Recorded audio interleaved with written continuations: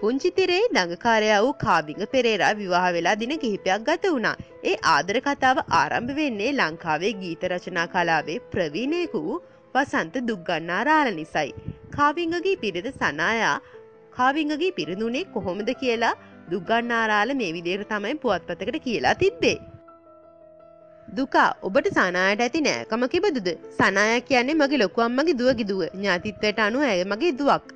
ඇයි වෛද්‍යවරයක් නේද ඔවු සනාය ඉගෙනගත්තේ චීනේ වර්තමානය ඇය කුරණඇගල රෝහලේ වෛද්‍යවරයක් ලෙසට සේවය කරනවා.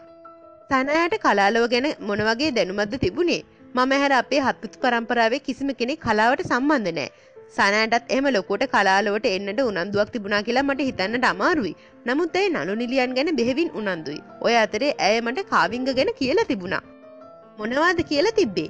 සාමාන්‍යයෙන් නළුවන්ට කොහොමත් කෙල්ලෝ ආසයිනේ ඒ වගේ දෙයක් තමයි කියලා තිබ්බේ. විශේෂ තොරතුරක් කාවිංග ගැන අහලනම් නැහැ.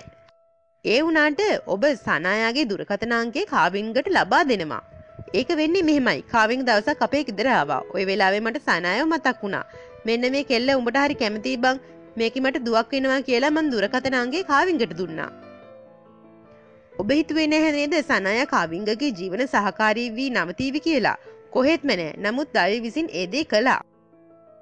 තරුණ නළුවෙකුට දුවව දෙන්න සනායාගේ මව්පියන් කැමති වුණාද? ඕනෙම අම්මෙක් තාක්තෙත් තමන්ගේ දුව හොඳ පවුල් ජීවිතයක් ගත කරනවට ආසයි. සනායටත් ඒ කාරණාව වලංගුයිනේ කාවිංග ගැන කිව්වම ඇගේ මවපියන් ටිකක් ගැස්සුනා ඒ වුනට ඒ ප්‍රේමේ බෙඳදාන්න කොහෙත්ම උත්සා කළේ නැහැ. කාවිංග ගැන හොයා බලන්නට පැවරුණේ ඔබට නේද? මට තමයි කාමිං නිසා මට CID ගේම් එකකුත් කරන්න සිදුවනා මේ ප්‍රේම කතාව දැනගත් මොහොතේ ඔබ කාමිංගට මොනවද කිව්වේ මං කෙලින්ම කාවිංගට කිව්බා මට උඹ ගැන ප්‍රශ්නයක් තියෙනවා කියලා. ඔහු මට කියපු දෙයක් තමයි ඔහු ගැන මතු පිටින් බලන්න එපා කියපුදේ ඒ වචනෙත් එක්ක ඊළඟට මංකලේ ඔහුගෙන සොයා බලන එක එහෙම කලා කියලා ඔබ මෙහෙම කියනකං කාමිංග දන්නේ නැහැ නේද. ඔවු මං ඔහුට නොතේරෙන්න ඔහුගෙන සියලු තොරතුරු හොයල බැලවා. දැන් කාවිංගගේ සනාගත් විවාහයෙන් පස්සේ දැනමුතු වැඩිහිටියෙක් හැටියට දුන් උපදේශය කොයි වගේද. මං ඒ දෙන්නටම කියන්න තියෙන දේවල් කියලා තියන්නේ කසාද ජීවිතය කියන්නේ ප්‍රශ්න ගොඩක් ඒක කාටත් පොදුයි. ඒත් එහෙම ආවා කියලා මාව ඇපේට තියන්න එපා කියලා මං කාවිංගට කියලා තියෙන්නේ. කාවිංග ඔබේ කලාලොවේ සමීපතමයෙක් සනය ඔබේ දුවෙක් මේ දෙන්න අතර ප්‍රශ්නයක් ඇතිවුණොත් ඔබ ගන්නේ කාගි පැත්තද දෙයියන්ගේ පිහිටෙන් එහෙම නොවේවා කියලා හිතනවා. මොනවා වුණත් මට ගන්න වෙන්නේ සනායක පැත්ත. මොකද එයා මගේ දුවෙක්නේ. මේ කසාදෙන් පසු ඔබ කාවිංගට මාමා වෙනවා. අයියා කෙනෙක් මාමා වෙන්නේ හරිම කලාතුරකින්නේ. මං කාවිංගට කියලා තියෙන්නේ මට මාමා කියලා වුන් කියනවා එහෙම නෙවෙයි කියලා. එදා වගේම දුකා අයියා කියලා කියපන් කියලයි මං එයාට කිව්වේ.